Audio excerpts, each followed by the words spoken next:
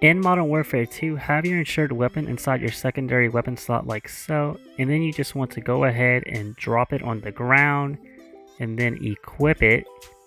And now you want to drop your primary weapon on the ground, and stow your insured weapon into your backpack like so.